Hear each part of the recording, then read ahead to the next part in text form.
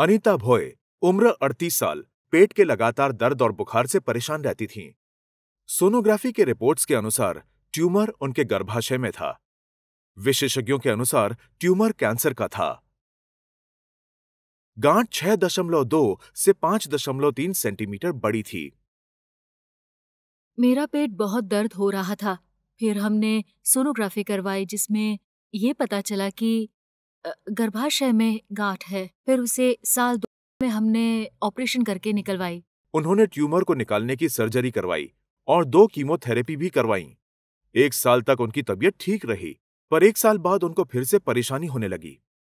Chemo लेने के कुछ दिन तक आराम रहा लेकिन उसके बाद परेशानी फिर से शुरू हो गई। उनकी कमज़ोरी बढ़ने लगी और वज़न कम होने लगा। उनका हीमोग्लोबिन लेवल 7.5 हो गया और प्लेटलेट का आंकड़ा सिर्फ़ सत्ताईस हज़ार रह गया। विशेषज्ञों के अनुसार उनकी बीमारी लिवर तक पहुँच चुकी थी। उन्होंने अक्टूबर दो में फिर से सर्जरी करवाई पर दुर्भाग्यवश उससे कोई फ़र्क नहीं पड़ा। फिर फिर से गर्भाशय का और गांठ का ऑपरेशन हुआ।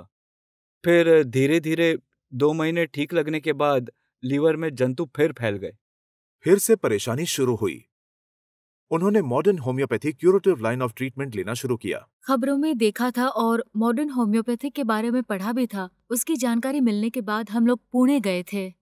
वहाँ जाने के बाद सर की सलाह ली उनकी दवाई चालू है और उस वजह से रिपोर्ट्स भी एकदम नॉर्मल है।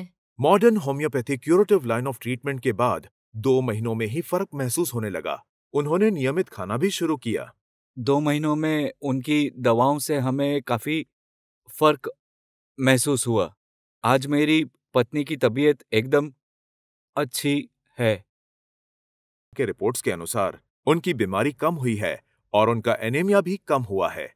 उनका वज़न बढ़ा है और हेमोग्लोबिन और प्लेटलेट काउंट भी नॉर्मल हुए हैं। मैं जब हमने सोनोग्राफी करवाई तब उस सोनोग्राफी में हमें जानने को मिला था कि कैंसर जैसी बीमारी नॉर्मल हो गई है और उन दवाइयों से किसी भी तरह का दुष्प्रभाव हुआ नहीं है।